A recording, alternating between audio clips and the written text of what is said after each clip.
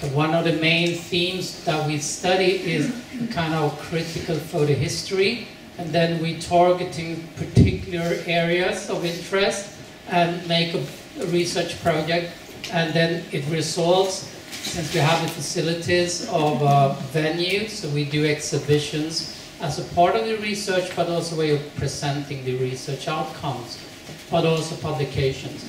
So we were thinking about looking into the interwar period, and the reason for that was, and then we found out, I would say, just to bring that in immediately. At that time, the relation between film and photography was so tight, so we thought this might be the real uh, reason for us to shift perspective and looking into lens-based cultures history and how they're intertwined. Uh, this is also just saying that we have done a few uh, symposiums already. We invite people, both artists, scholars, uh, curators, to reflect on this and share uh, knowledge and, and research, uh, ongoing research, and all this will then lead up 2021 in an exhibition and a publication. It starts with this exhibition at the Gothenburg Art Center of Göteborgs Konsthall, which was a very typical exhibition at the time, an international photo exhibition. And when you look, uh, when you entered the, the, uh, the, the, the entrance there, you could see any kind of photography. There were not only art photography, but of course science, botanics, air photographs, all of this, which we thought this is so interesting because when history has been written, particularly from the point of view of more like fine art photography, this heterogeneity has been, in a way, washed out. So we thought this would be a great way to start the research from a very, very local point of view, an exhibition held in Gothenburg with international photography. Me, myself, have in this research project looked into the published photographs, and in the 1930s, there was a Swedish photographer, or Swedish writer who, worked on a series of novels that he defined as a social engaged novel, Ivar Lo-Johansson. And he looked into the group of people, we can call them, they were working in the, in the uh, industry of the uh, farm industry, and they, they had very bad working conditions. Uh, they were giving the labor, and in return they get food and uh, housing. So they were kind of a slave system anyway, not slave, but very, very rough. So he wrote about 1,000 pages on this in three different novels, one collection of novels and one, two novels, one collection of short stories and one novel. And they are called Statarna. Then he found out that actually to even take this further, he wanted to also include photographs. And this is a time when literature is extremely intermediate. So in the, in the books they refer a lot to photographers and photography, film and filmmakers, and jazz music. And also that the books are composed and written as these medias were present within the novel and the language in itself. So he produced a book together with the photographer Gunnar Lundh, uh, which is the, that called the socially engaged photo book. And this is the first uh, page of this one. And the interesting thing, this is a typical kind of using of the new objectivity. So this is a strong belief in actually that the photographs can tell something that the text can't. So in these books, the text is reduced. Imagine he published 10,000 pages of text on the same topic, and then he reduced the text and let the image show what the text couldn't really say at the, uh, at the same convincing manner. Gunnar Lundh took the photographs from 1935 to 1945 when this uh, system was abolished. And these are, uh, one was spread, and as you can see, this, the text is really kind of minor, and also the layout of the books is also very typical of its time, and is really informative, and you really get the message through the images. and this is about the tractor or the, the you know the, the, development of the technique, techniques in the in the farming industry. And actually, the last of his books was actually about uh, a tractor, and it was in the reviews. Uh, in a positive way, it was said that it's almost like the novel was written by itself. Uh, so this is an example of how uh, photography was acknowledged by writers with a social content and creating a kind of intermediate uh, uh way of uh, using photography. And now I will leave the, the microphone to my colleague to continue. Yes. Yes, I'm going to sing my presentation. Hi. Uh, I'm going to try to explain a bit about the context where we met actually, because as Niclas said, it's an interesting time, the interwar period, because of the way that people active within film and photography actually soon have more in common, and they really try to find converging ideas, both academically and practically.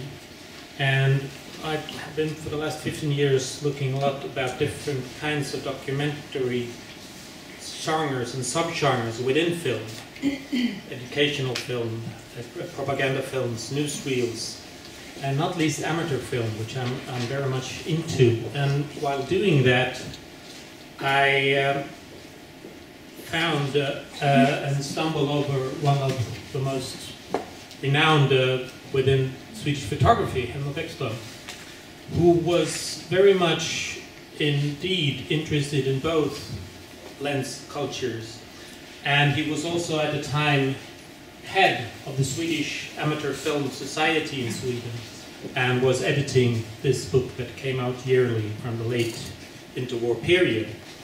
And uh, his way of thinking and studying various forms of photographic techniques uh, made me interested in how could we actually work with this. And when I found what Niclas and Louise and others did at Valand and Hasselblad, we began to talk and just seen the sort of seminars we've had.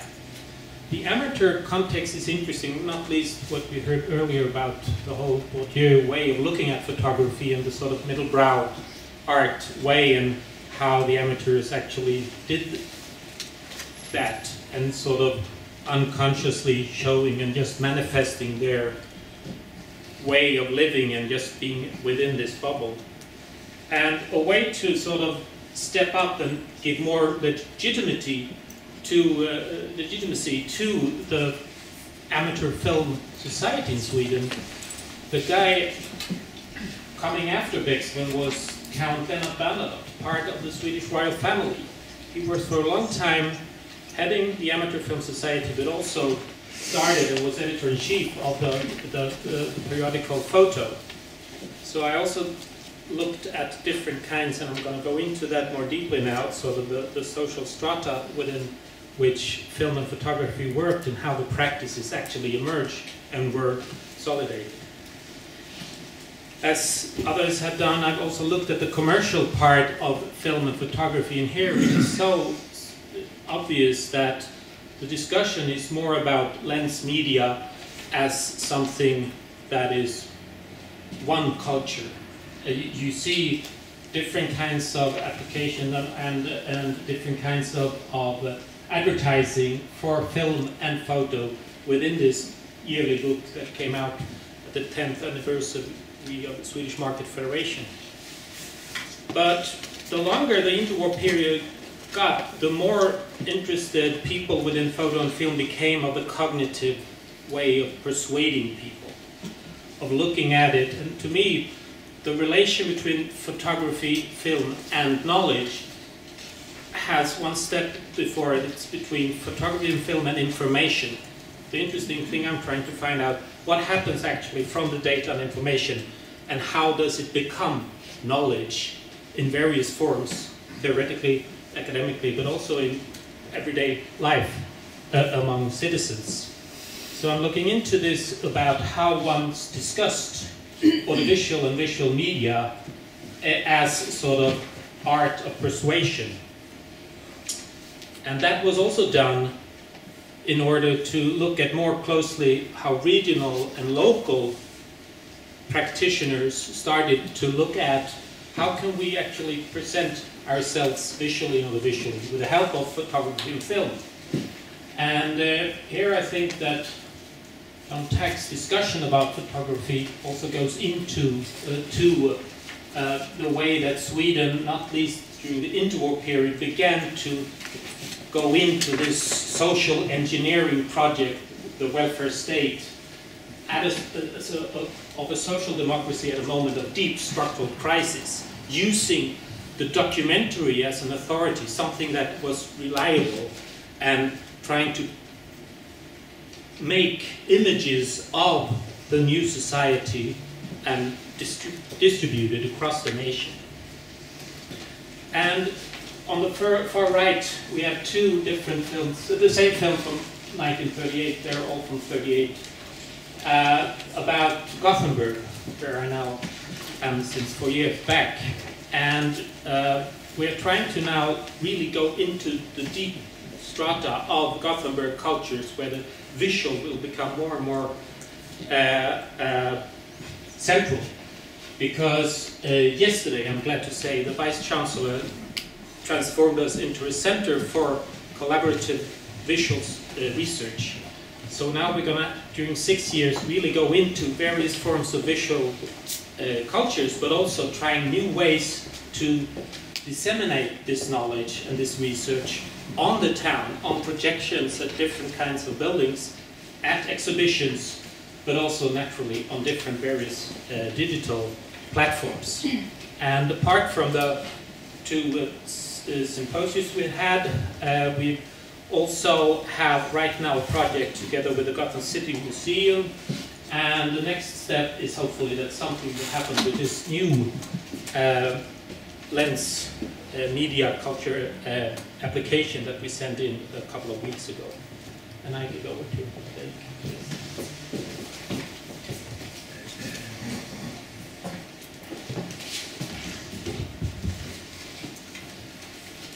So I'm part of this project as a postdoc uh, at Valand Academy and uh, together with the Hasselblad professor. So uh, I started this, uh, at least officially, I started this position this week on Monday. it's just in the beginning of it. So in my part of the project, I'm also looking at this interwar period, but through the works of contemporary artists that uh, and photographers. So I'm meeting this history through engagements in the present, uh, through the works of artists who in different ways work with material, from this time, uh, archive images, but also uh, other types of material. Uh, and also through some of my own engagements with material from this time. So this kind of meeting or engagement with historical material is something that I looked at a little bit before in my doctoral thesis, which came out last year, which is called Photographic Engagements belonging and affective encounters in contemporary photography. And here I, looked at some of the historical material as a small part of a wider discussion about the notion of belonging in contemporary photography. And then some of the practices that I was looking at was about this kind of engagement with history, but then in relation to the notion of uh, belonging in general. So now as a part of this project, I will narrow in on this interwar period through work by, for example, Lina Selander and Katarina Pirak Sikku and also other ones that I, uh, I don't know yet. So I'm going to bring up one work by Lina Selander as an example of what I'll be doing in my part of the project. But before that, I want to say a few words about this idea of engaging with historical material, and photographs in particular. So when I talk about engaging with this material, my aim is to focus not just on the meaning of photographic images or other material, or on questions about its truthfulness or correspondence. Uh, my aim is rather to focus on the affective and the embodied and the material aspects of these meetings. a perspective which, as you will see in the example that I'm about to show, is not disconnected from these questions of truthfulness and correspondence, but which is intricately connected to these questions. So the focus is on the situated, the affective, the embodied, the material meeting as the beginning and also as the point of return to these larger questions of history, of wider patterns, of boundaries, of utopian ideas, of ideologies, technologies, uh, and so on. So the idea is that history can never be told in abstraction, but neither can affective engagement with photography, for example, exist in separation from these wider stories and narratives. So, I'm probably going to be writing about several works by Lina Selander, but I will mention just one here briefly. Uh, it's called The Hours That Hold the Form from 2007, and it's a short film. Uh, consists of mostly still images, also some moving images. And you can see it as exactly th this kind of engagement with one particular time in history, uh, with the place and objects and images left behind. So it starts with one particular site, namely a hotel in Portbou on the border between France and Spain, where the philosopher Walter Benjamin took his life after having made the journey across the Pyrenees in 1939, but then finding himself unable to cross the border, not knowing that the very day after uh, the borders would be open. Uh, so the work concerns the affective encounter with the space itself, the hotel room, uh, the rusty nickel on the typewriter, the faded hotel bell, the mold that we can see in some of the images. Even the smell of the sea, if we can make those associations. And also the train station at Portbou where Frenchmen today arrive to buy cheap, uh, cheap liquor. So, in the work, the material situated particularities of the story is then connected to other narratives through images and also through this voiceover you can see the words to here. Narratives about fleeing, about being a migrant, and here about making a journey on a raft amidst high waves, of losing one's documents, of trying to tell one's story to a disbelieving listener, So the voiceover tells us, for example, like we saw before, one must be aware what is said is not necessarily the truth, and also how a photo of a bruise can be taken at any time. So it's the same at the same time about the impossibility of telling a story, of determining the truth from someone's story, or from the objects or images left behind. So these affective and material and altogether situated experiences cannot be disconnected from the history of the place itself, from Walter Benjamin's story, from the stories and memories and feelings of migration today, and the politics to, politics to which it's connected, to the history of the Second World War, the history of Europe, the history of the world, and the history of the universe, if you like. So the idea is just like any meeting with a photograph, uh, any meeting with a photograph is always at the same time a situated, affective and material engagement and connected to these wider patterns and traces of world-changing events. So that's all to be continued.